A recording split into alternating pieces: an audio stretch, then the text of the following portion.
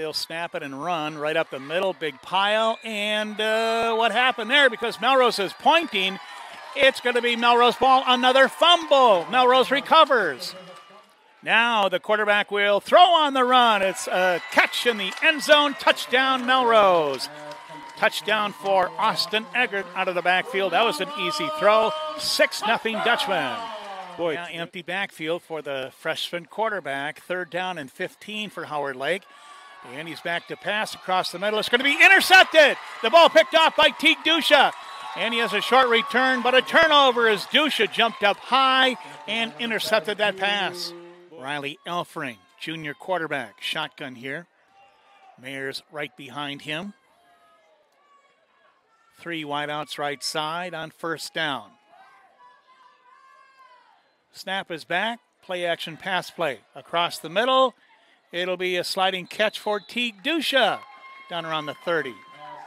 Nice execution on that route right up the seam there, up that hash mark on the left side of the formation. Uh, good slide and grab Teague Dusha for the positive gain on first down.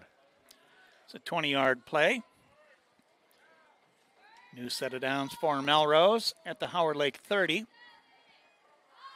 Shotgun again for Elfring. Another play action pass play, throwing deeper, and it's going to be caught. Sam Waylagi. Well, a Dutchman touchdown.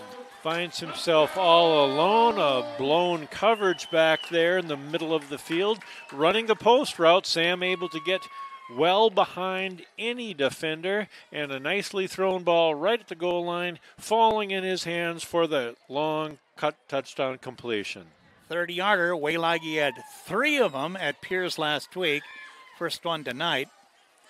31 to 12, scoring with 3:42 on the clock. So Waylagi making a catch. He's a senior. Melrose going for two.